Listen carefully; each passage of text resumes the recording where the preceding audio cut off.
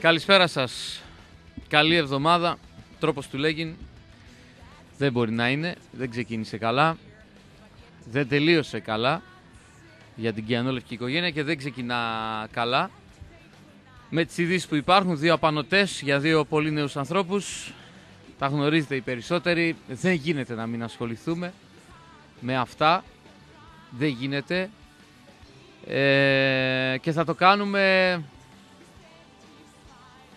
έτσι γιατί μας βγαίνει. Γιατί δεν μας βγαίνει κάτι άλλο να κάνουμε σήμερα. Και φαντάζομαι το καταλαβαίνετε απόλυτα. Ώρα για μπλε, Λίμπερο 107,4 στο μικρόφωνο Γιώργος Ματζιούκης απέναντί μου στη ρύθμιση του ήχου Βασίλης Καβαδίας. Θα πάμε παρέα μέχρι τις 8 με τους χορηγούς μας, το Νότος Καφέ All Day Bar και Cocktail Bar στο βράχο της Αφύτου με θεά τη θάλασσα, υπέροχο μαγαζί. Οι σακούλες ε, Αριστοπλάστ για όσους θέλουν σακούλα και ενδιαφέρονται για τον περιβάλλον, σακούλες απορριμμάτων που αποτελούνται από 100% ανακυκλωμένο υλικό σε όλες τις διαστάσεις και τις καλύτερες τιμές της αγοράς.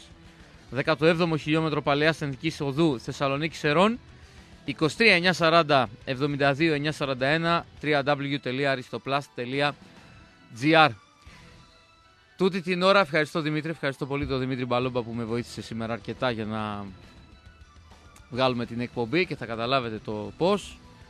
Ε, τούτη την ώρα στον Ιερό Ναό Αναστάσεως του Κυρίου κοντά στη Θέρμη γίνεται η κηδεία του Γιώργου Ξενίδη. Στεναχωριέμαι που δεν είμαι εκεί αλλά είναι πάνω στην εκπομπή μας. Δεν γίνεται να μην αφιερώσουμε την εκπομπή στο, στο Γιώργο που έφυγε τόσο γρήγορα, τόσο νωρίς. Γιωργάρα μου από την Ευκαρπία, συμφωνώ απόλυτα με αυτό που λες. Σίγουρα αν μας άκουγε σήμερα ο Γιώργος ο Ξενίδης θα μας έκραζε, μπορεί και να μας έβριζε. Δεν του αρέσουν αυτά. Δεν θα του άρεσαν αυτά. Θα προτιμούσε να παίζουμε τραγούδια για την πάρτη του και συνθήματα. Αλλά δεν μπορούμε να μην ε, κρύψουμε τη... Δεν μπορούμε να κρύψουμε τη στεναχώρια μας. Δεν γίνεται. Ε, όταν μιλάμε για έναν άνθρωπο 45 ετών και ανέστητος να είσαι, θα στεναχωρηθείς. Καλό παράδεισο να έχεις, ήσουν, είσαι και θα είσαι ένα δικό μας παιδί που αγαπούσε τον Ιακλή με την ψυχή του. Καλό ταξίδι, λέει ο Γιώργος, που έστειλε το πρώτο mail. FM και το μήνυμά σας αποστολή στο 54526 blue παπάκι yahoo.gr. Συλληπιτήρια στην οικογένειά του. Αφήνει ένα παιδί 8 ετών α, με το οποίο κοιμήθηκε αγκαλιά χθες το βράδυ ο Γιώργος Ξενίδης και παραλαμβάνω τούτη την ώρα είναι αρκετοί εκεί από την οικογένεια του Ηρακλή που τον αποχαιρετούν. Εμείς το ίδιο θα κάνουμε μέσα από την εκπομπή. Ο Γιώργος Οξενίδης που χθες το βράδυ περίπου 11 και 4 έκανε μία ανάρτηση στο facebook εκφράζοντας τη δυσαρέσκειά του για το εκλογικό αποτέλεσμα στο Δήμο Θεσσαλονίκης και έκανε το γνωστό χουλιαμά ως άρρωστη γριά που ήταν, που είναι και κατά τη μία ξάπλωσε το κρεβάτι μαζί με το γιο του και τρεις, τρεις και μισή έφυγε από ανακοπή. Χειρότερα δεν γίνεται. Σε αυτή την ηλικία, από το πουθενά, ένα τεράστιο σοκ για όλους. ευχαριστώ πάρα πολύ το φίλο τον Αντώνη. Η αλήθεια είναι ότι δεν τον πίστεψα που μου στείλε νωρίς το πρωί 8 παρατέταρτο μήνυμα να με ενημερώσει γιατί κάποιος άλλος φίλος του που δούλευε στο ΕΚΑΒ τον ενημέρωσε για την απώλεια του Γιώργου και μου έστειλε μήνυμα απευθείας και μου είπε να το κοιτάξω βέβαια εκείνη την ώρα. Ε, θολώνεις, τι να κοιτάξεις και ποιο να πάρεις. Ε, λίγο μετά είχα επικοινωνήσει με τον Άκη το Στολτίδη και δυστυχώς μου το επιβεβαίωσε. Ε, θα διαβάσω και τις ανακοινώσεις που έχουν βγει. Δεν γίνεται να μην πούμε και συλληπιτήρια στην, στην ε, οικογένεια του κυρίου Τάκη Κόμνου, του βετεράνου ποδοσφαιριστή του Ηρακλή, που πριν δύο μέρες έχασε το αγγελούδι του, τη μικρή του Βασιλική, 15 ετών. Είχε πρόβλημα στην καρδιά τα τελευταία δύο χρόνια, έπαιζε και ποδόσφαιρο. Και δυστυχώς ε, δημιουργήθηκε ένα σοβαρό πρόβλημα που πήρε αυτό το αγγελούδι ψηλά. Ε, ανακοινώσεις πολλές από όλους, από μπάσκετ και από γυμναστικό σύλλογο και από ιδρυτικό σωματείο και από το βόλεϊ και από την αυτόνομη θύρα 10 και από παντού. Και για την μικρή Βασιλική, καλό παράδεισο και καλή δύναμη στο, στον κύριο Τάκη που ό,τι και να του πούμε δεν... Δεν, απλά ένα δεν. Τελείως διαφορετική εκπομπή θα θέλαμε να κάνουμε σήμερα. Ε, εντάξει, θα αναφερθούμε και λίγο στα της ειδησογραφίας, όχι ότι υπάρχει κάτι το φοβερό. Ε, όταν υπάρχουν τέτοιες ειδήσεις, αυτά πάνε πίσω. Ο Τάσος γράφει στο μήνυμά του δεν υπάρχουν λόγια. Καλό παράδεισο Γιώργαρε. Ένα mail του Χρήστου. Καλησπέρα Γιώργο. Μπράβο σε όσους πήραν διαρκεία στο βόλεϊ 200 διαρκείας πριν το καλοκαίρι. Στόχος είναι τα χίλια να πάμε ψηλά διαρκείας και στο μπάσκετ να τρελαθούμε και στα δύο στο ποδόσφαιρο ο Θεός βοηθός. Γιώργο, έχεις μεγάλη υπομονή να μιλάς για ποδόσφαιρο. Συγχαρητήρια Δρακόπουλο, υπάρχει και το βόλεϊ. Ε, καλά από υπομονή. Άλλο τίποτα, Χρήστο μου. Να σε καλά. Ο Θωμάς από την Κιανόλευκη Αλεξάνδρεια, πιστός εδώ στην εκπομπή. Με το ζόρι να αναπνεύσουμε. Είμαστε από το πρωί. Ε, δεν υπάρχουν λέξεις για τον Γιώργο. Για εμά που το ζήσαμε ακόμα και σε πορεία προς την Τούμπα, σαν απλό παδό. Ναι, ήταν ένα μάτσο, νομίζω, Θωμά, που ήταν τραυματίας ή τιμωρημένος. Τέλος πάντων, δεν είχε δικαίωμα συμμετοχής. Και είχε πάει με τον κόσμο στην Τούμπα. Φώναζε σαν και εμάς στην κερκίδα. Είναι πολύ βαρύ. Ο γαλάζιος παράδεισος δυστυχώς μεγαλώνει. Αν μεγαλώνει, λέει, και εκεί που είναι αυτή τη στιγμή ο Γιώργος ο Ξενίδης μαζί με τον αρκετό κόσμο που πάει να τον χαιρετήσει εκεί στη Θέρμη. Είναι και ο Πέτρος ο Γκαζάς, είναι και ο Τσάκαλος, είναι και η Ελπίδα. Είναι πολύ. Είναι πολύ. Γιώργο, ζούμε για να σα ακούμε. Συλληπιτήρια στι οικογένειε σας. Είναι ελαφρύ το χώμα για τη Βασιλικούλα και τον Γιωργάκη. Φτωχότερη οικογένεια του Ηρακλή μας, γράφει ο φίλος μου ο Μάνος. Θα διαβάσω και τις ανακοινώσεις και μετά θα πάμε σε τοποθετήσεις, σε δηλώσεις, σε συζητήσεις που αφορούν κυρίως τον, τον Γιώργο τον Ξενίδη. Ένας άνθρωπος που ο πρώτος είναι ο τελευταίος που στον Ηρακλή και αγαπήθηκε πολύ και παρεξηγήθηκε πολύ και για πολλούς είχε ένα κουσούρι να, να λέει αυτό που πιστεύει. Αυτό που θεωρεί ο ίδιος σωστό τις περισσότερες φορές στους περισσότερους δεν άρεσε. Τα τελευταία χρόνια δεν το απέφευγε. Να μιλά, να τοποθετείται, στεναχωριόταν πάρα πολύ, μελαγχολούσε πάρα πολύ, είχε απομακρυνθεί. Η τελευταία του απόπειρα ήταν το 11 που είχε μπει μπροστά μαζί με τον συγχωρεμένο τον Κώστα Τσιρογιάννη. Πριν ένα χρόνο έφυγε. Είχαν μπει μπροστά ε, στην Δέλτα Εθνική τότε, στην Καλλικράτεια να κατεβάσουν τα αμούστακα παιδιά. Ως ποδοσφαιριστής και εκεί αγαπήθηκε, ξεφωνήθηκε, αλλά όλοι νομίζω είτε τον αγαπούσαν είτε καμιά φορά δεν τα πήγαιναν καλά μαζί του. Ε, παραδεχόντουσαν τη μαγιά του, την παλικαριά του, το πάθος του, γιατί δεν ήταν ο Μέση, ούτε ο Σαλάχ, ούτε δεν ξέρω εγώ ποιος άλλος. Ό,τι έκανε στο ποδόσφαιρο όμως το έκανε με τα guts, να μην πω άλλη λέξη. Και αγαπούσε πάρα πολύ τον Ηρακλή, έτσι, δεν το συζητάμε. Ζούσε για τα ντέρμπι, ζούσε για τα μεγάλα παιχνίδια. Ζούσε για να βάζει γκολ και για να πανηγυρίζει βγάζοντας τη φανέλα τότε του Παπάφι Κλαμπ ήρα έτσι απλά.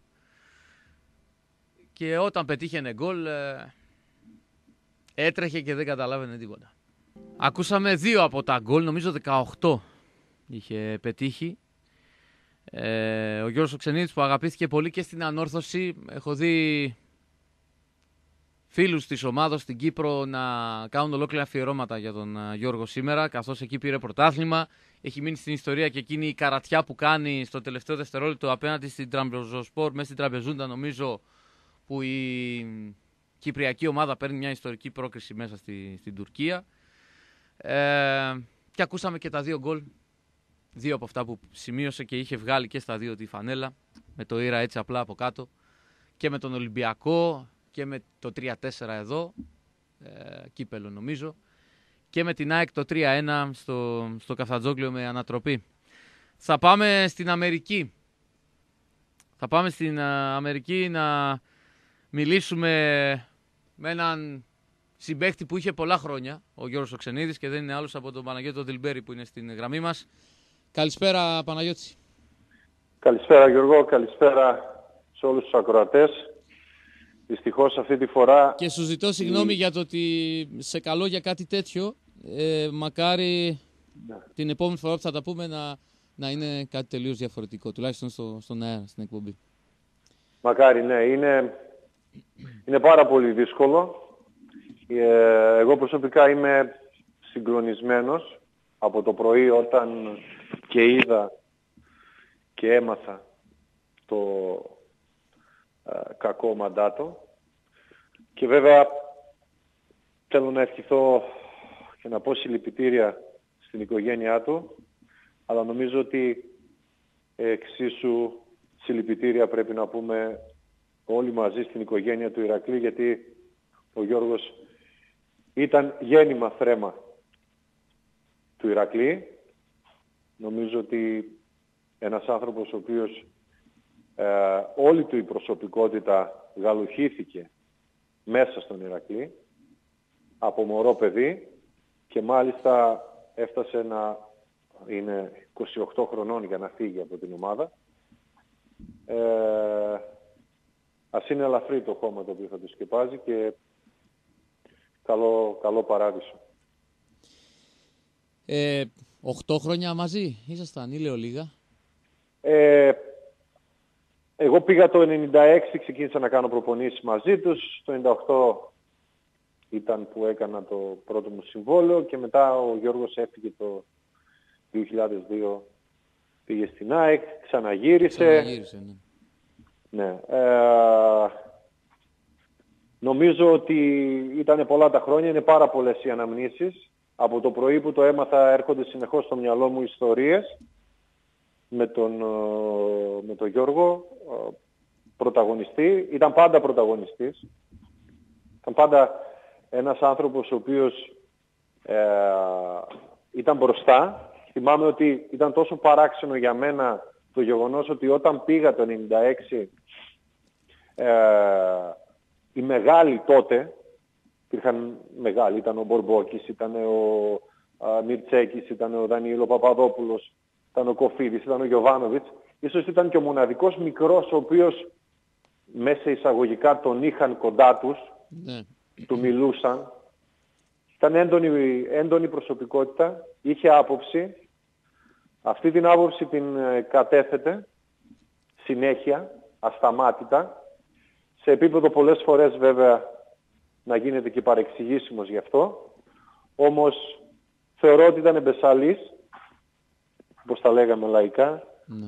παιδί της πιάτσας, με έναν ιδιαίτερο τρόπο στο να εκφράζεται και νομίζω ότι ε, είχε και μεγάλη αγάπη για αυτό το σύλλογο, μεγάλη αγάπη για αυτή την ομάδα, η οποία του έμαθε να είναι μέσα εισαγωγικά διαφορετικός σε σχέση με την κουλτούρα που κουβαλάει αυτή η ομάδα, γιατί ο Γιώργος ενώ είχε πάρα πολύ καλά τεχνικά χαρακτηριστικά σαν ποδοσφαιριστής, είχε ένα αριστερό πόδι, θυμάμαι, του έλεγε ο Άγγελος Αναστασιάδης ότι το προσόν σου είναι η εξιντάρα διαγώνια πάσα που μπορείς να κάνεις με το αριστερό και να βρεις συμπέχτη. Ε, όμως διακρινόταν για τη μαχητικότητά του μες στο παιχνίδι, μέσα στην προπόνηση. Ήταν ένας ποδοσφαιριστής ο οποίος λέγανε ήταν του 6,5 του 7 και πάντα σου δίνει 6,5-7 μες στο γήπεδο. Ε, και παράδειγμα για πολλούς, πολλές φορές Θυμάμαι ότι μέσα στα ποδητήρια η άποψή του για κέρια θέματα τι έπρεπε να κάνουμε σαν ποδοσφαιριστές σε σημαντικά ζητήματα είχε βαρύνουσα σημασία. Και ως αρχηγός, έτσι. ναι, βέβαια. Είναι αρχηγός. Ε, πολλές, πολλές, πολλές χαρούμενες στιγμές είναι η αλήθεια.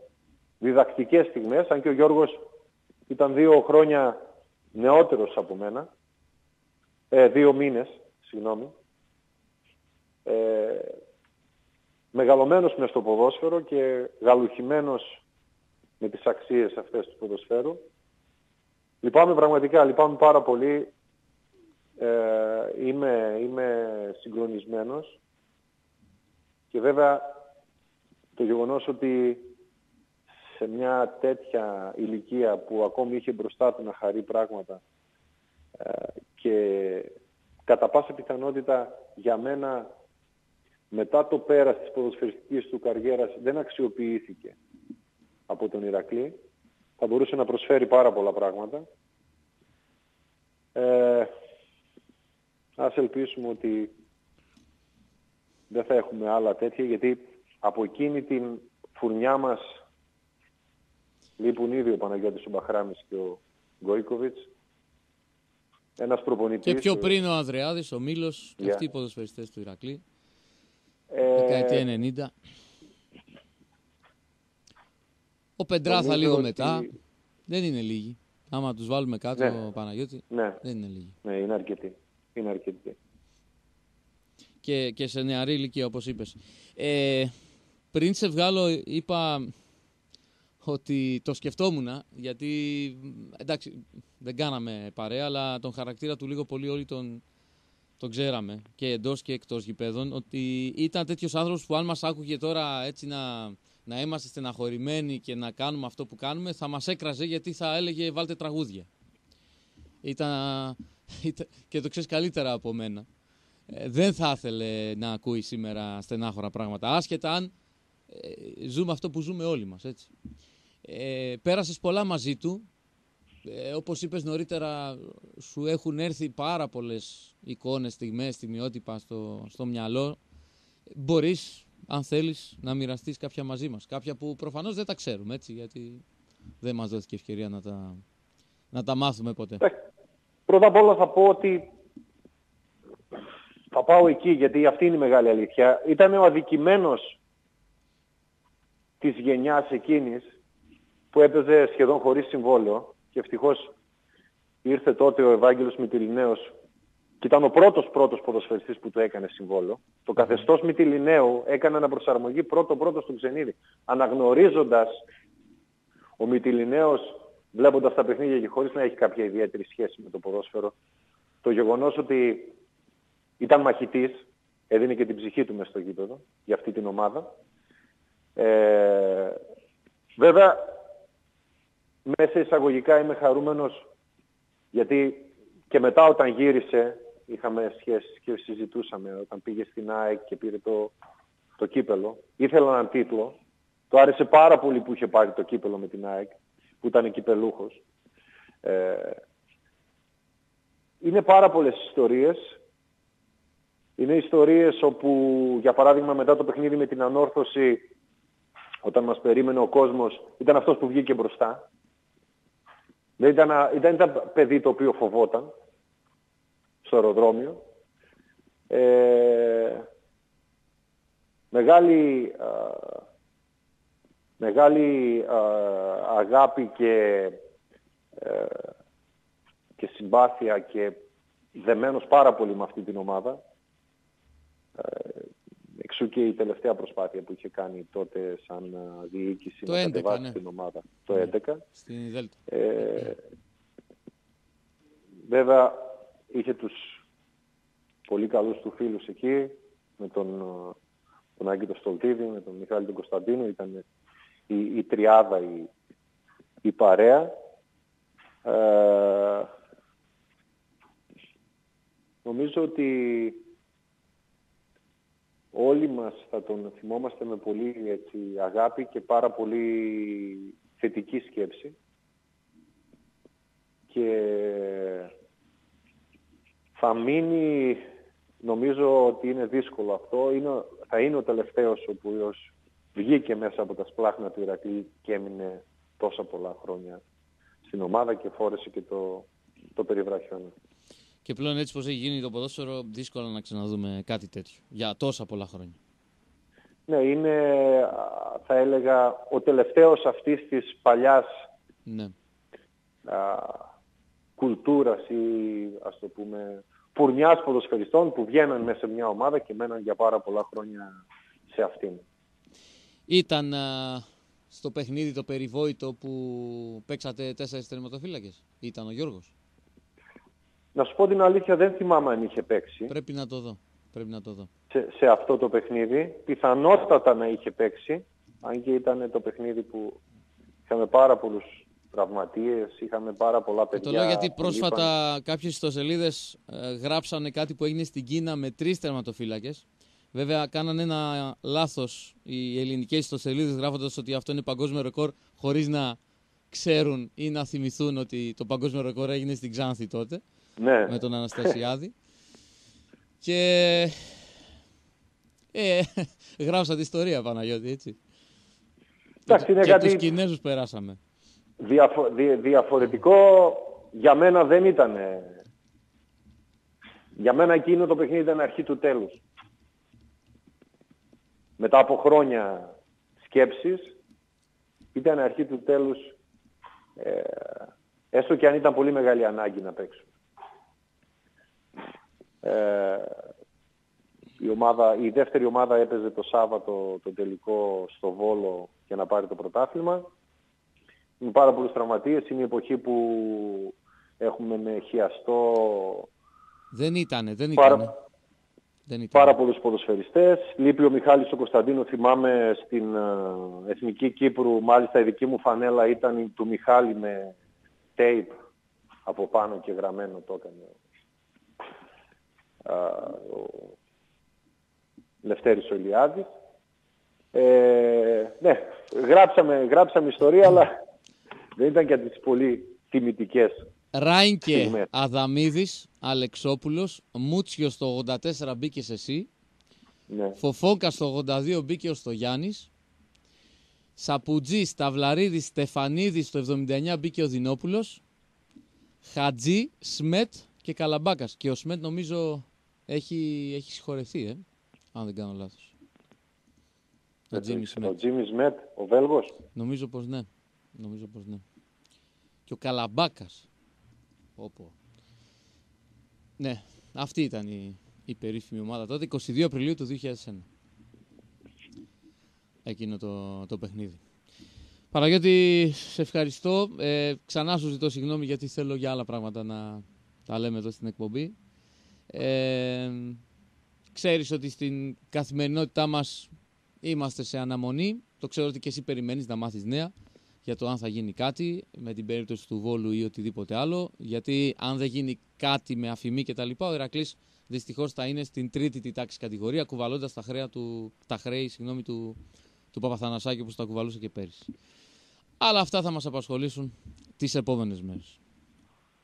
Ναι, είναι γεγονός ότι όταν συμβαίνει κάτι τόσο συνταρακτικό όπως ο χαμός ενός ανθρώπου που είναι γνωστό σε όλους μας και ανήκει στην οικογένεια του Ηρακλή Τουλάχιστον για σήμερα όλα αυτά πρέπει να περάσουν σε δεύτερη μοίρα. Ναι.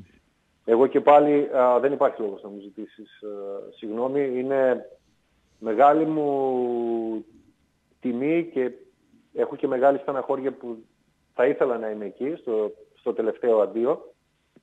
Ε, και ίσως αν με τα χρόνια ε, με αξιώσει ο Θεός και βρεθώ, γιατί μου είπαν ότι ο Γιώργος είχε ένα γιο, ναι. Έχει ένα γιο. Ναι. να του εξηγήσω ότι ο, πραγματικά ο πατέρας του είναι ένας πολύ άξιος άνθρωπος, άξιος ποδοσφαιριστής, άξιο τέκνο του Ηρακλή και ο μόνος τρόπος για να διατηρήσει ζωντανό το Γιώργο είναι να, να έχει την ίδια μαχητικότητα, την ίδια ισχυρή προσωπικότητα και να λέει τις αλήθειες έτσι ακριβώς όπως τις έλεγε ο πατέρας του. Να σε καλά Παναγιώτη. Σε ευχαριστώ.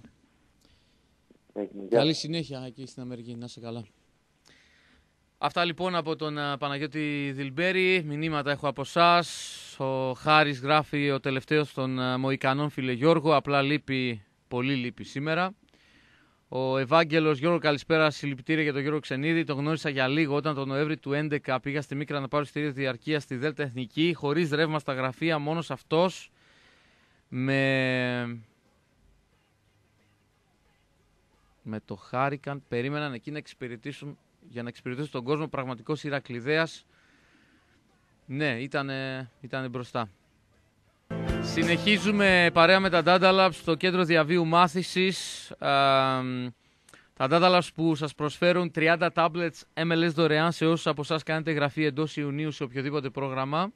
Μπορείτε να δηλώσετε τμήματα με έναρξη μέχρι και το Σεπτέμβριο περίοδος εγγραφών 1η Ιουνίου με 30 Ιουνίου. Ε, για πληροφορική, για γραμματική υποστήριξη, για δίπλωμα τεχνικού δικτύου, για γλώσσες προγραμματισμού, για δίπλωμα στις ξενοδοχειακές επιχειρήσεις και άλλα πολλά.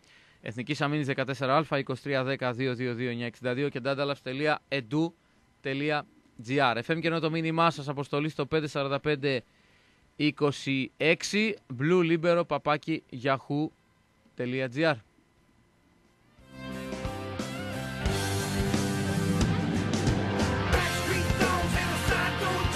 Με το Χάγκαν, ναι, με, το, με τον Εμπενίζερ Χάγκαν, ε, Ευαγγελέ μου εννοούσες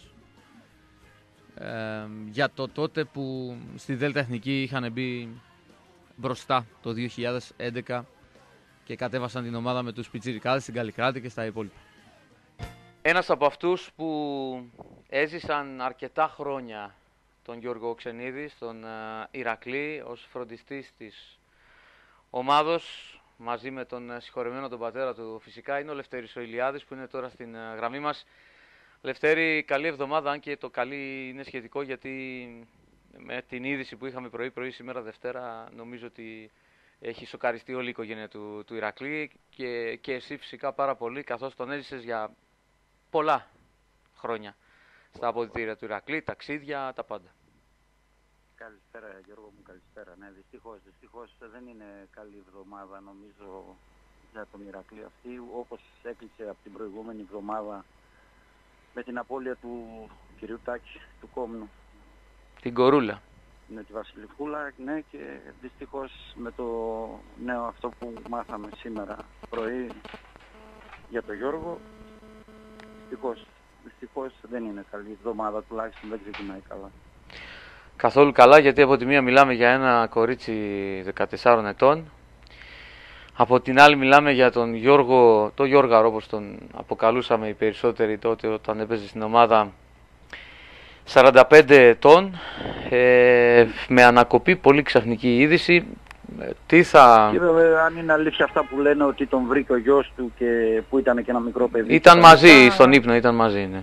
Ήταν το αγκαλιά. κάνει ακόμα δυσκολότερο. Εγώ μπορώ να καταλάβω λίγο την άποψη ότι και εμένα ο γιος μου είναι 14 χρονών και νιώθω λίγο τον πόνο του κυρίου Τάκη σε αυτή την περίπτωση, ε, καθώς και της οικογένειας του, αλλά φυσικά και τον πόνο που θα έχουν οι οικοί του Γιώργου, γιατί εντάξει, δεν είναι και εύκολο πράγμα, 45 χρονών, εντάξει, κακά τα ψέματα, εγώ είμαι 50, αλλά δεν θεωρούμαστε ακόμα γέροι.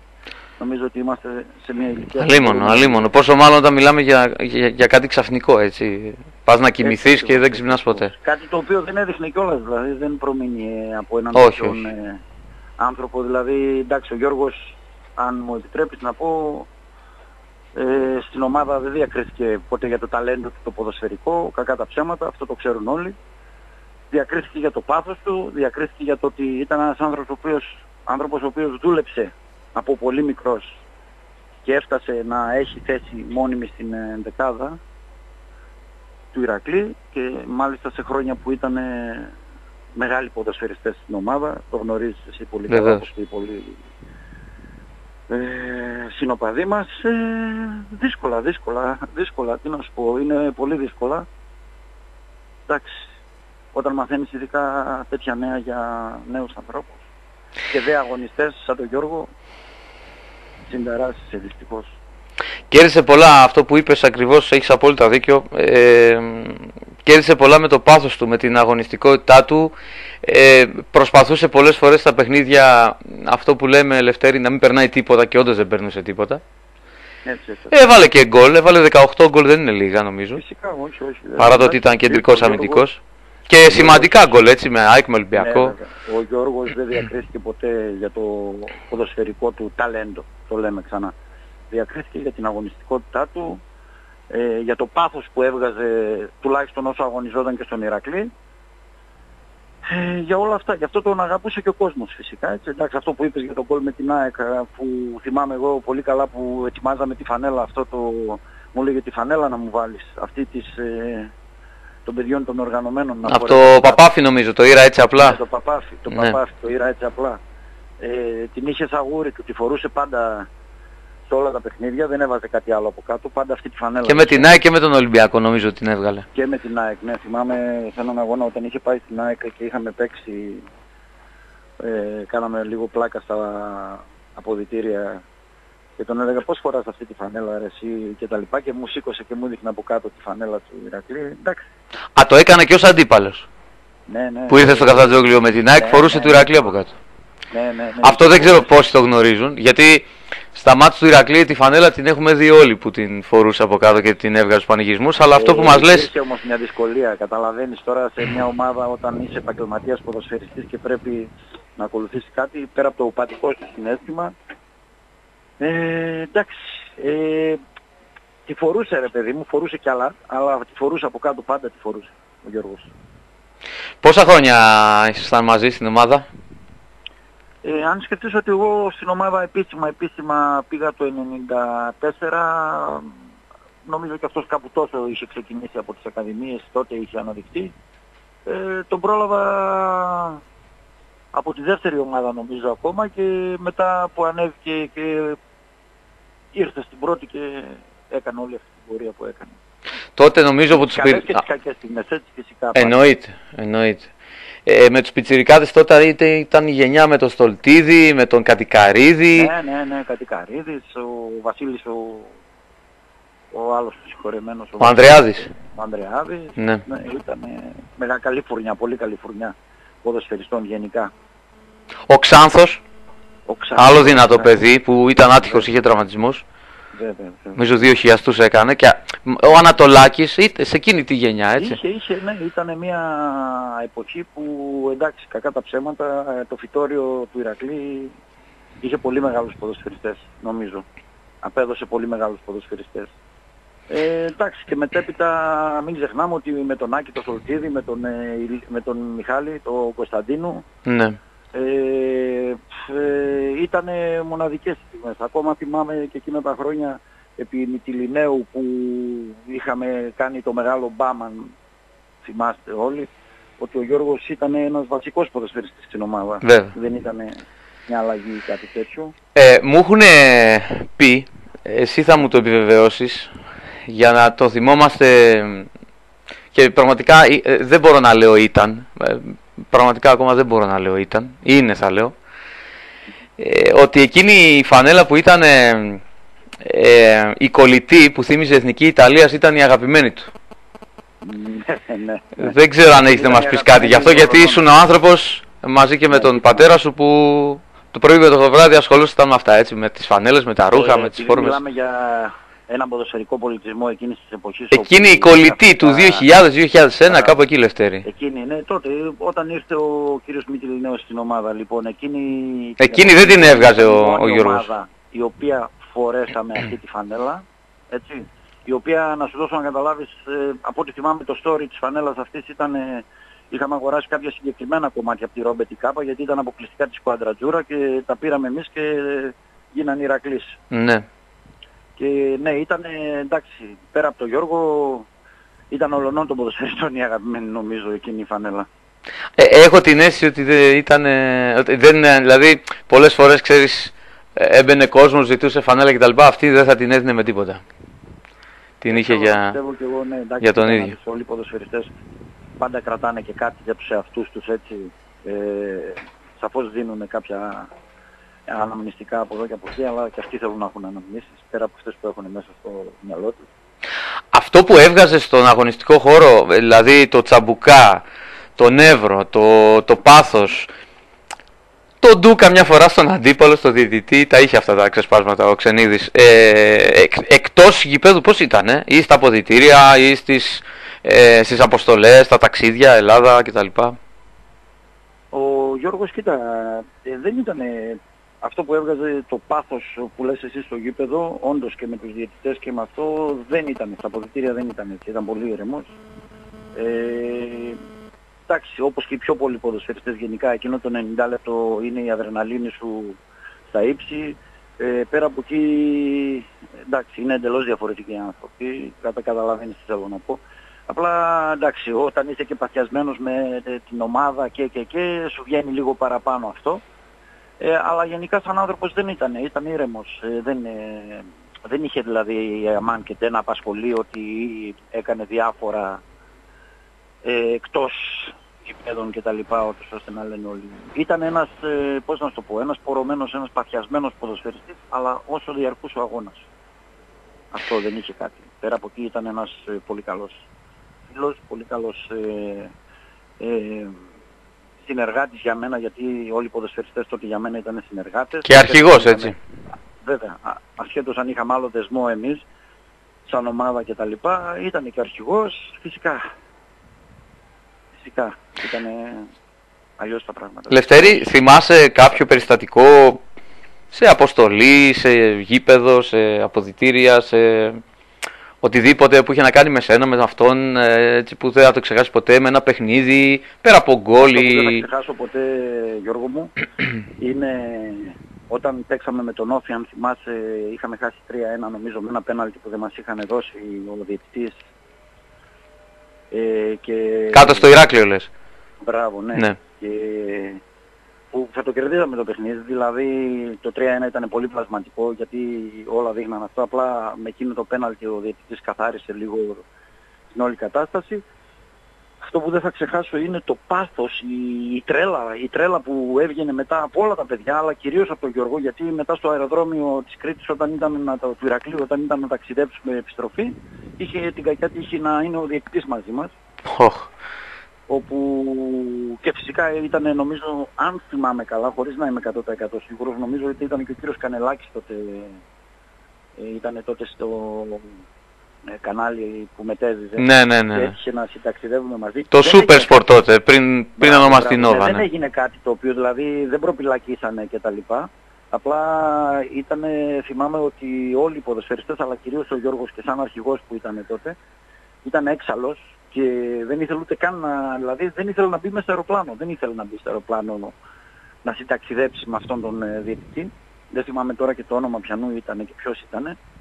Δηλαδή αυτό μου είχε μείνει πολύ χαραγμένο βασικά γιατί ε, έβγαλε μια τρέλα, ένα πάθος, ε, μια αγανάκτηση ε, γιατί αδιοικήθηκε η ομάδα και αν θυμάσαι και μετά από εκείνο το παιχνίδι ήταν που έφυγε και ο κύριος Μητρινέος. Ναι, ναι, είναι, είναι για το πέναλτι που έκανε ο Βρέντε, ο Ολλανδός, ο ψηλός. Μπράβο, μπράβο, μπράβο. Ναι. Εκείνο, μετά από εκείνο το παιχνίδι είναι που έφυγε. Είπε φεύγω, ναι. Ναι και μάλλον δεν ξέρω αν είχε ε, υποθεί τίποτα στα αποδητήρια. Ε, ε, μου, εμένα μου διαφεύγει της αντιλήψεως μου, δεν το πήρα χαμπάρι να σου πω και την αλήθεια. Αλλά μετά από εκεί ο, ο Γιώργος ήταν σε έξαλλη κατάσταση γενικώς. Δηλαδή θυμάμαι ότι ε, προσπαθούσαμε να τον ε, κρατήσουμε, νομίζω ήταν και ο Σαπουτής τότε στην ομάδα. Ε, μου έρχονται έτσι χαρακτηριστικά εικόνες όπου προσπαθούσαμε να τον ε, κρατήσουμε και να τον ηρεμήσουμε, να τον πούμε να μπει στο αεροπλάνο παρόλα αυτά. Πολλές ώρες θα μπορούσαμε να μιλάμε, ειδικά εσύ που τον έζησες περίπου 8 χρόνια νομίζω κάπου εκεί, μέχρι να πάει στην ΑΕΚ και μετά ξαναγύρισε βέβαια. Βέβαια, βέβαια. Από... Ήταν τυχερός που πήγε στην ΑΕΚ, θα πω εγώ, ε, ασχέτως που έφυγε κακήν κακός από εδώ και με όλα αυτά που είχαν γίνει, τώρα καλός κακός δεν έχει να κάνει. Αλλά ήταν τυχερός γιατί πήγε στην ΑΕΚ εκείνη την περίοδο που πήρε και το κύπελο ναι. με αυτή τη σημαίνει, όποια συνεισφορά και να είχε, μικρή μεγάλη, Είχε 13 επίσημα παιχνίδια με, τη, με την ΑΕΚ, αλλά, αλλά μάλλον δεν άντεχε και ξαναγύρισε. Καλά, εντάξει. Ε, αυτό είναι γεγονός. Ε, ο Ηρακλής ήταν ένα μεγάλο κομμάτι της ζωής του Γιώργου. Μην ξεχνάς ότι ήταν αναντάμ παπαντάμ, έτσι. Ναι, ναι, ναι. Όλη η οικογένεια, δηλαδή και ο πατέρας. Ε, και όλοι ήταν από χρόνια Δεν ήταν δηλαδή ένα παιδί που ήρθε, το φέραν από ένα χωριό ξαφνικά και άντε έγινε Ηρακλής. Όχι, από τα σπλάχνα. Από τα σπλάχνα. Έτσι ακριβώς. Δυστυχώς η, η οικογένεια ψηλά αυξάνεται και στα συγκεκριμένα κημητήρια ο πατέρας σου, ο Πέτρος ο Γκαζάς, ο Γιώργος ο Ξενίδης. Ο κύριος Σπύρος ο Σοφανίδης. Είναι, είναι πολύ. Είναι πολύ. Και πολλοί άλλοι. Είναι πολύ. Και πολλοί άλλοι. Λευτέρη, σε ευχαριστώ πάρα πολύ. Ξέρω ότι ήταν δύσκολο. Θέλω να εκφράσω τα θερμά μου συλληπιτήρια και στις δύο οικογένειες. Βεβαίως. Και του Γιώργου Ξενίδη, αλλά φυσικά και του κυρίου Τάκη του Κόβνου. Ε, είναι βαρύ το πλήγμα και για τους δύο. Κουράγιο. Μόνο αυτό μπορώ να πω. Ε, εντάξει, μπορεί να τα λέμε εμείς ε, απ' έξω τώρα αυτή τη στιγμή, αλλά δυστυχώς η ζωή συνεχίζεται, δεν μπορούμε να κάνουμε κάτι άλλο. Να είσαι καλά. Καλή δύναμη και σε εσένα. Εσείς, ευχαριστώ. Σε ευχαριστώ πολύ. Θα πάω τώρα να δώσω την ε, καλησπέρα μου σε ένα φίλο, σε ένα δικό μας άνθρωπο και το λέω δικό μας εννοώ της οικογένειας του Λίμπερο 107,4, τον Κωνσταντίνο Παπαδομανολάκη, ο οποίος είναι στην ε, γραμμή. Καλησπέρα Κωνσταντίνε. Καλησπέρα Γιώργο, καλησπέρα και στους ε, ακροατές του Λίμπερο και της εκπομπής σου. Ε, ο, πολύς ο κόσμος φυσικά αυτό που θα πω μπορεί να μην το γνωρίζει καθόλου. Ε, ούτε εγώ φυσικά το, το γνώριζα, απλά έτυχε μέσω του facebook να δω Ναι. Ένα like σου σε χθεσινοβραδινή ανάρτηση του Γιώργου του Ξενίδη και από εκεί με ενημέρωσες ότι και χρόνια φίλοι είστε, είδες ακόμα είστε λέω, Έτσι, έτσι θα είναι. και συνεργάτες και ε, όπως μου... Ναι, μέρη ως προς το ποδόσφαιρο γιατί και οι δυο αγαπάμε ε, το ποδόσφαιρο και το υπηρετούμε με τον τρόπο μας και όσο πιο μπορούμε πιο καθαρά και... Στα γήπεδα χρόνια μαζί, Έτσι, ναι, τον γνώρισα τον Γιώργο το 2003 περίπου, πριν από 16 χρόνια, παίχτης του Ηρακλή τότε, ένα παρεάκι πάρα πολύ ωραίο. πριν με- πάει στην ανόρθωση Κώστα, ε; Ναι, ναι, πριν πάει στην Ανόρθωση, ένα παρεάκι μαζί με Άκη Στολτίδη και Μιχάλη Κωνσταντίνου, Ναι. μια τριάδα αχώριστη, αχώριστη φίλη τότε. Ε, Τριάδα και φωτιά ποδοσφαιρικά. Τριάδα φωτιά και ποδοσφαιρικά και σαν παρέα και σαν φίλοι, να σου πω την αλήθεια. Ε, εκεί σε μια γειτονιά στην Πότσαρη περίπου είχαμε έτσι ένα κοινό στέκι, εκεί γνωριστήκαμε ε, και οι τέσσερις, εκεί κάναμε την παρέα μας, εκεί κάναμε τις ποδοσφαιρικές μας κουβέντες ατελείωτες, πολλές ώρες, ακόμα και μη ποδοσφαιρικές ώρες, έτσι. Ε, δε- μας πιάναμε κάποια στιγμή να έχει πάει 12 η ώρα και να φεύγουν τα παιδιά τρέχοντας γιατί έπρεπε ήδη να είναι στο κρεβάτι τους και να Εκεί σε κολούσε ως άρρωστος Ηρακλειδέας; Ακριβώς. Ε, εντάξει, ε, ξέρεις τα αισθήματά μου και για τον Ηρακλή, έτσι. Αυτό που με, με ήταν σόκαρε, μια αυτό άλλη που, ομάδα. που με ξάφνιασε Κωνσταντίνε είναι αυτό που μου Ναι. είπες εκτός αέρα Ναι. ε, ότι μιλούσες μαζί του μέχρι χθες το απόγευμα. Ναι, όταν Και λίγες τέλειωσε- ώρες μετά ναι, όταν τέλειωσε έγινε την αυτό που εκπομπή έγινε. μου Χθες στις 8 η ώρα περίπου, 7.30-8 η ώρα που έφυγα από το, το Λίμπερο, ε, ανταλλάξαμε έτσι κάποια μηνύματα για κάποιους ε, παίκτες, για κάτι ομάδες εδώ, τοπικές Θεσσαλονίκης, ξέρω εγώ. Ε, το κάναμε συχνά αυτό ρε παιδί μου. Το ρωτούσα την άποψή του, με έλεγε και αυτό τη δική του. Για κανένα παράγοντα, ξέρεις τώρα πώς είναι οι υπόλοιπες Ναι. κουβέντες. Τι ξέρεις για εκείνη την ομάδα, αν είναι καλά, αν είναι εκείνο, αν το άλλο. Ε, και ανταλλάξαμε έτσι πέντε μηνύματα εκείνη την ώρα και μετά το βράδυ είδα την ανάρτησή του στο facebook. Αυτή που έκανε για τις δημοτικές εκλογές. Ναι, Ναι. ναι, ναι, πάτησα και μια φατσούλα ρε παιδί μου έτσι στο, στο πλαίσιο της καζούρας ή της πλάκας. που Αυτό ήταν είχαμε. περίπου 11.30 το βράδυ Αυτό η ήταν ανάρτησή 11 του. και 4 Και αν δεν τέταρτο. κάνω λάθος. Ναι, κοιμήθηκα κανονικά, ξέρω ό,τι ώρα κοιμήθηκα και σηκώθηκα σήμερα το πρωί. Έκανα κάτι δουλίτσες και μετά όταν πήγα σε ένα γνωστό μας, κοινό μας φίλο, ξέρω εγώ, μου λέει αυτό και αυτό. Και πάγωσα. Ε, εντάξει, δεν, δεν υπάρχει πιο συγκλονιστικό να μιλάς μαζί του και λίγες ώρες μετά να μαθαίνεις αυτό το Ναι, πράγμα. ναι, ναι. Ε, Κωστή, ε, σου είχε πει κάτι ότι, ξέρω εγώ, δεν αισθάνομαι καλά ή οτιδήποτε άλλο. Είχε, Ο Γιώργος είχε κάποιο ήταν, θέμα να ε, αντιμετωπίσει; αθλητής μέχρι, μέχρι και σήμερα, έτσι. Δηλαδή ένας άνθρωπος ο οποίος αγαπούσε πάρα πολύ το σώμα του, ένας άνθρωπος ο οποίος αγαπούσε πάρα πολύ τη γυμναστική, το ποδόσφαιρο εννοείται, πρόσεχε τη διατροφή του, εντάξει, κάπνιζε ελάχιστα, ε, δεν έκανε καταχρήσεις, δεν μου είχε πει κάτι για ενοχλήσεις. Τώρα ε, μαθαίνω για κάτι κληρονομικά, έτσι, όλοι μας έχουμε κληρονομικά, εγώ έχω ζάχαρο, άλλος έχει καρδιά, άλλος έχει εκείνο, άλλος έχει τ' άλλο, αλλά ό,τι και να είναι το κληρονομικό ρε παιδί μου, στα 45 χρόνια δεν το περιμένει. Και τόσο ξαφνικά χωρίς Και να τόσο σε ξαφνικά, προειδοποιήσει. Χωρίς προειδοποίηση, χωρίς να μπορείς να προλάβεις να κάνεις κάτι. Αυτό είναι το, από τη μια λες ότι δεν ταλαιπωρήθηκε ο οποιοδήποτε άνθρωπος φεύγει έτσι, αλλά απ' την άλλη είναι πολύ πικρό και για τον ίδιο που δεν πρόλαβε να κάνει κάτι και σίγουρα πολύ πιο πικρό για τους δικούς του ανθρώπους πρώτα και μετά για όλους εμάς που το ξέραμε. Δεν το συζητάμε, Ε, αφήνει πάντως ο Γιώργος, η οικογένεια. εγώ θα τον θυμάμαι σαν έναν πολύ σκληροτράχυλο παίχτη, σαν έναν αληθινό παίχτη, ο οποίος μπορεί να μην είχε το απέραντο ταλέντο, αλλά δούλεψε πάρα πάρα πάρα πολύ για να φτάσει στο επίπεδο που έφτασε Ναι. και έτσι ισοβα... ισοστάθμισε θα έλεγα την έλλειψη του τεράστιου ταλέντου με την πολλή δουλειά του, την θέληση, την παλικαριά τους. Δηλαδή έμπαινε οποιοδήποτε αντίπαλος και τον σεβόταν τον Γιώργο, τον φοβόταν τον Γιώργο σαν αντίπαλο. Ναι, γιατί τις Αυτό είναι περισσότερες ένα από τα φορές όταν αν κάποιος τον κολούσε κιόλας σε εισαγωγικά την ώρα του Ε, αγώνα δεν ήταν περνούσε ή η μπάλα ή αυτός δεν έχει. Δεν περνούσε καλά αυτό που λέμε, Ναι. δεν περνούσε καλά ο αντίπαλος, ναι. Είναι μια αλήθεια αυτή. Είναι μια αλήθεια. Αυτό, εγώ αυτό θα θυμάμαι, αυτό θα προσπαθώ να λέω σε όσα παιδιά ασχολούμαι με το ποδόσφαιρο και σε όσες ομάδες ασχολούμαι. Θα τον λέω πάντα σαν παράδειγμα ότι έτσι πρέπει να παίζετε, με παλικαριά, με άντρες πραγματικοί μάγκες, μάγκες εντός γηπέδου. Σε αυτή την ενασχόληση Όχι που... Εκτός γηπέδου και μάγκες εντός γηπέδου, αυτό. Ναι. Σε αυτή του την ενασχόληση που είχατε και την όποια συνεργασία, φιλία που μας Ναι. ανέφερες νωρίτερα, ε, πώς ήταν, δηλαδή ασχολιόταν με νεαρούς ποδοσφαιριστές και το λέω αυτό Πολύ- γιατί... Καταρχήν πολύ ήρεμος άνθρωπος, Ήρεμος, έτσι, ναι. πολύ ήπιον τόνων, ε, συμβουλευτικός πάντα, ε, έλεγε πάντα αλήθειες, δηλαδή άμα ήταν κάτι κακό θα στο έλεγε. Είτε για παίχτη, είτε για σένα τον ίδιο, είτε για... Αυτό που λες τώρα σε διακόπτω ξανά, συγγνώμη, ε, Ναι, ναι. στον Ηρακλή ήταν πολύ παρεξηγήσιμο. Ε, Που παντού- πάντα έλεγε αυτό που πίστευε. Δηλαδή, μπορεί Ναι, ναι. 100.000 άνθρωποι να λέγανε ε, μπλε, θα ήταν ο μόνος που θα έλεγε όχι, εμένα μου αρέσει το άσπρο.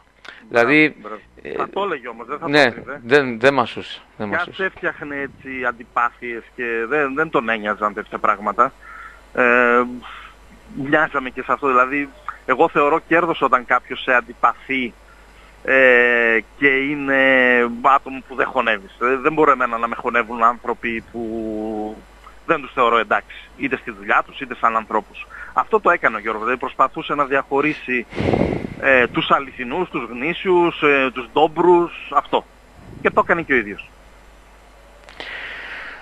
Να τον θυμάσαι με το... Κάποια στιγμή, κάποια στιγμή μάλιστα Γιώργο και να κλείσουμε με αυτό, Ναι, ναι. θυμάμαι που είχε εκφράσει το ενδιαφέρον του και το συζητούσαμε εκείνο το διάστημα μαζί με τον Βασίλη τον Μπορμπόκη να αναλάβουν τον Απόλλων Καλαμαριά. Ναι.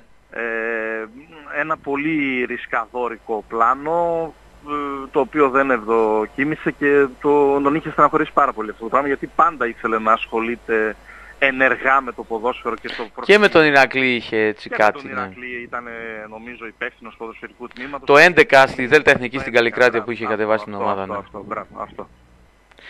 Ε, και από εκεί πικραμένος έφυγε νομίζω. Ναι, εννοείται όπως πολύ. Ε, να τον θυμάσαι Να όπως είστε καλά, θέλεις και εσύ Εγώ να τον θυμόμαστε όλοι. Που τον ζούσες τόσο, τόσο κοντά Να είστε καλά. Να είστε καλά. και εσύ. Καλή δύναμη Κωστή. Καλή συνέχεια. Καλό απόγευμα.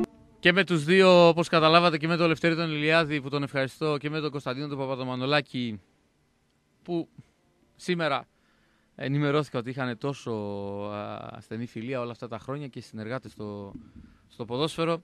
Ε, όπως καταλάβατε κάναμε νωρίτερα τις συνεντεύξεις και όχι ζωντανά γιατί και οι δύο ήθελαν και έδωσαν το παρόν στην κηδεία του Γιώργου Ξενίδη που ε, ήταν στις 7 και 4 προγραμματισμένη. Να διαβάσω ακόμα ένα μήνυμα του φίλου του Γιώργου από τον Γκράτ της Αυστρίας. Καλησπέρα, όσο μπορεί να είναι. Σήμερα έφυγε ακόμα ένας αδερφός για το γαλάζιο παράδεισο.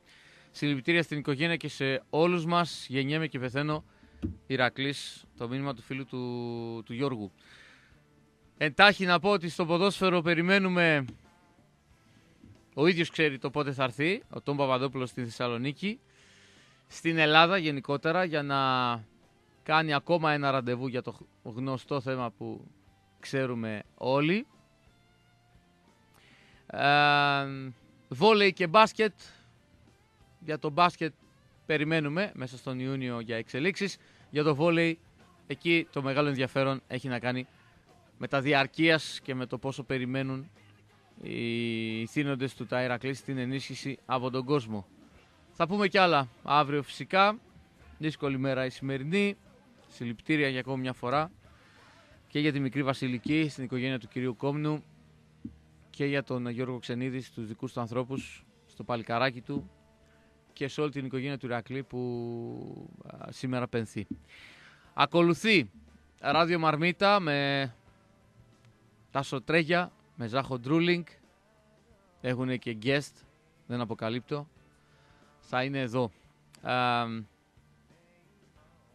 Νότος Καφέ All Day Bar και Cocktail Bar ήταν κοντά μας και σήμερα στο βράχο της Αθήτου με υπέροχη θέα τη θάλασσα στο πρωτοπόλ της Χαλκιδικής.